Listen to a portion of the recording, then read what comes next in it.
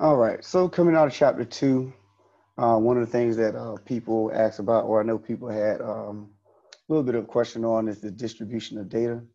So we have certain shapes that we're going to come across that will represent the distribution of data.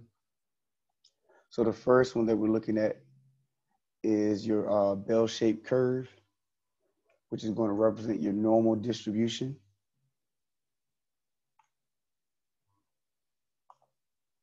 All right. So this is one you most definitely want to hold on to and remember. It's symmetric about the mean. So the mean would be in the middle right here. And the bulk of your data would be, you know, in this middle. And then as you go further away from the mean to the right or to the left, then, you know, less and less of your data would be. So this one you most definitely want to hold on to. Uh, it will come up uh, all throughout the rest of the course, your bell-shaped curve. Uh, it's symmetric about the mean. So in other words, what's going on on the right side of the mean is the same thing that's going on on the left side of the mean. And um, it's considered your normal distribution.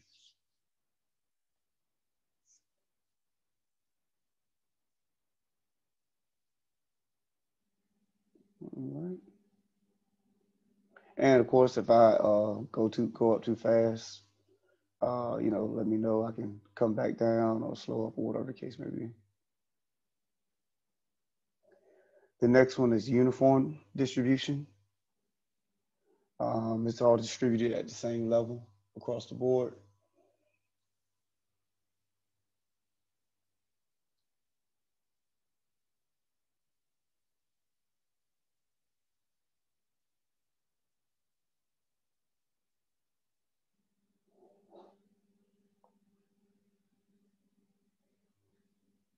All right. The next one is uh, when your data is skewed left. So that means the bulk of your data, I know when you say skewed left, it sounds like your data is pushed to the left. But in actuality, if your data set is skewed left, that means the tail of your data is to the left. And that means the bulk of your data is going to be over here to the right. So your tail is to the left whenever your data is considered skewed left.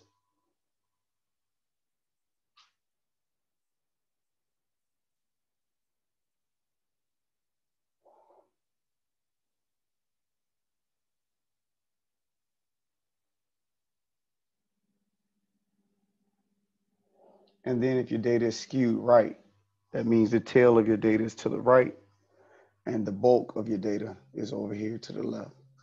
So the majority of your data will be actually be to the left if your data is skewed right. So you're actually looking at the tail where the least amount of your data is in order to consider in order to figure out whether it's skewed left or skewed right.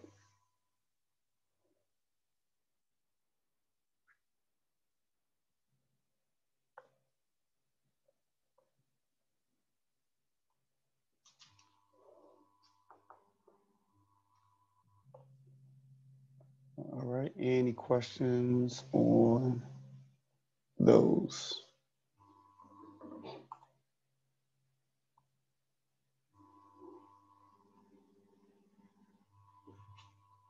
All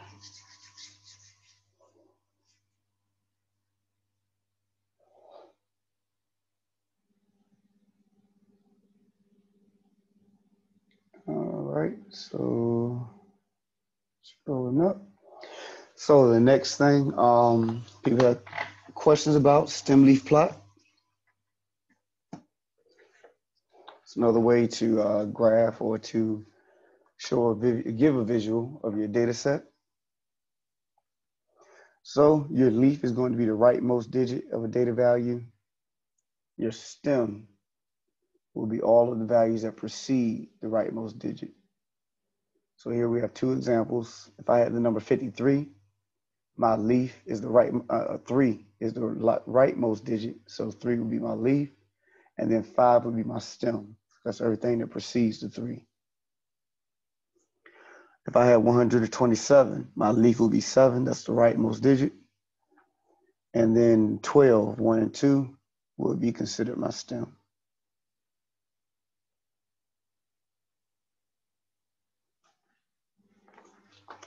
All right. Before we do an example with that, any questions?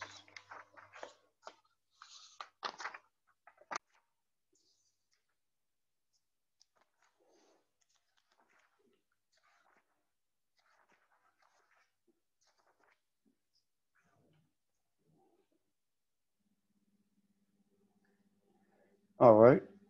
So let's say we have a data set 41, 50, 56, 71, 72, 72, 75, 80, 80, 82, 83, 84, 88, 88, 89, 91, 92, 93, 100, 101, 101, and 112.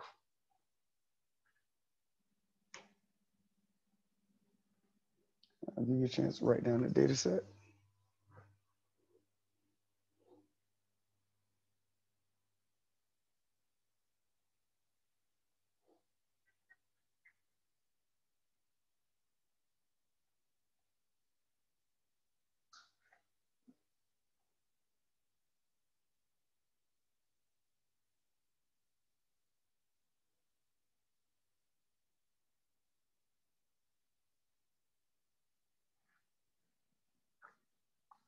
All right.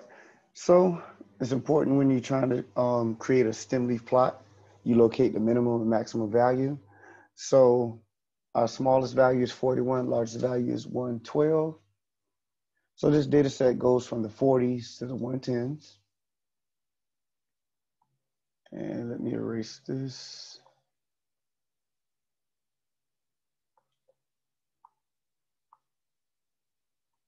All right. So it's going from the 40s to the 110s. So that's how we will set up our stems. We go um, 40s, 50s, 60s, 70s, 80s, 90s, 100s, and then 110s. Those will be our stems.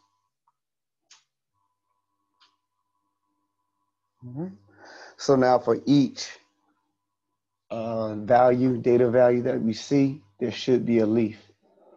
So you have four for the 40s. The value that we have is 41. So that one will go here. There are no other 40s, so we don't have, we wouldn't write anything else under 40s. Then we go to the 50s. You have 50 and then 56, and that's it. So there are no 60s. What we do not do is put a zero here because that would represent the number 60. We would just leave it blank and then go to the 70s. So then you have 71, 72, and then 72 appears twice. And you write 75. If there are no more 70s, go to your 80s. And you keep on with that same thought process. We have two 80s, 82, 83, 84. And we have 88, 88, 89. All right. Then we have 91, 92, 93. 100. Okay, 101, 101. And then 112. I think that's it. So, and that's how you represent um, those data values or that data set using the stem leaf plot. All right, before we go any further, is everybody okay with what we did? Make sure we're okay. All good here. Sounds good. Thank you. Thank you. Appreciate your response. And so you may you may ask, well, why would you use something like this? Well, it always depends on uh, who your audience is. You know, with statistics, it's all about appealing to your audience. Or if you're doing any type of presentation, it's about appealing to your audience. Um, if you have uh, audience that enjoy numbers, then uh, this would be something that would be more beneficial. Or if you like someone who, uh, or you have an audience that may, you know, maybe, um, you know, maybe you're talking to someone, a group of people who are dealing in arts or whatever the case may be, and you know that picture would be more appealing, then, um, you know, just using a regular bar graph would be more beneficial in this case, you know, because that's all this is, is just another way of doing a bar graph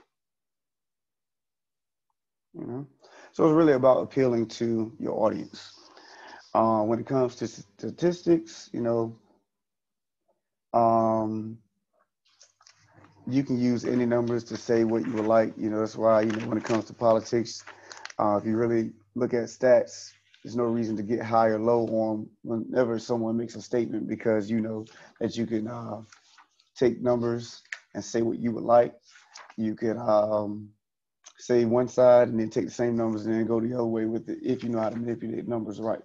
So, um, you know, that's what statistics is all about. You know, case in point is that uh, we'll come across outliers. Uh, when you look at them in your definition, you'll see them, but we'll also use them. Um, and they'll say, you know, you run your data. If you have any outliers, run your data with your outliers, then run your data without the outliers. And whichever one fits your case the best, then that's what you will use. So in other words, if someone were to ask you, well, let's say you leave out the outliers, someone were to ask you, well, hey, didn't you have this in your data set? Why didn't you include them? You say, well, they were outliers. The outliers are going to be extreme values that aren't normal. And so you say, hey, I left them out because they were outliers. They're not normal.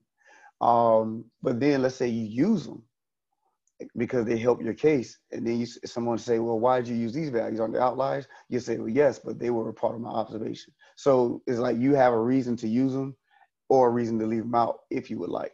And that's how people play with numbers and statistics.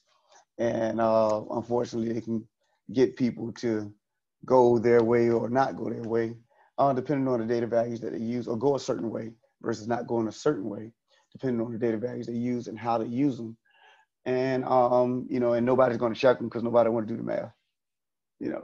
So, um, and they're banking on people not wanting to do the math. So, you always want to make sure, you know, be careful with, you know, getting too high and too low once people spit out numbers, because uh, they can be used in the other direction if you know the person wanted to. Uh, so let's see. Um, I think that is pretty much it. I think the next stuff, so stuff is chapter three. Yeah, yeah, yeah, yeah. So as far as questions, a lot of it in chapter one and two is straightforward. You know, I showed you about showed you the definitions and the things that are they're asking of you in chapter one and chapter two. So, but if you have any questions on anything, make sure you, know, you ask. Uh, next class, I'll open the floor up for any questions if anybody have them. Um, and make sure you keep communi- lines of communication open. If you're having troubles getting those definitions to me by Wednesday, don't ask me in front of the class. Shoot me an email. talk about it. Make sure you're straight. It is still better to turn it in late or to work out something than to just not turn it in at all. You do not want a zero for no reason. All right. Um, any questions on anything? Because remember, I'm not going to see you until next Wednesday. Whole another week will pass. Because uh, remember, Martin Luther King's birthday is on Monday. All right. Everybody good? Everybody straight? Yeah, I got a quick question. Um, yep. For the definitions, are those um? How do we get those to you? Do we send those to you by email? Yes, email's fine. All right, all right. Thank you. Yep, not a problem. Oh, I also had a question. Yep, I'm listening. Um, you said email, but I tried emailing you through like your TCC email and Canvas, and I got no response. Okay, when did you email me? Uh, like either yesterday or the day before. Okay, well, if you emailed me yesterday, um, I got a whole, I got flooded with emails yesterday, so I'm still trying to play catch up. So, okay. um, let's just see if, um, and he said Raven. Let me, uh, let me check right now. And somebody said, asked me, is it due? Well, uh, no, next Wednesday. So your stuff is due on the 20th. Definitions are due on the 20th. So let me see if I got an email in the. I can ask one of my questions in here right quick. Mm-hmm. Um, so I just ordered the access code through Barnes and Noble because like mm-hmm. like the financial aid, I guess. And so I don't know when it's gonna be ready. And so like if I do the 14 day free trial, I'm hoping that it'll be ready by then. Mm-hmm. But like if it's not, what do I do? Um, there's no penalty. It's just that it will lock you out until you get the code. Mm-hmm. So um it's, I would say just go ahead and use the 14 day free pass. If you already ordered it, it's coming.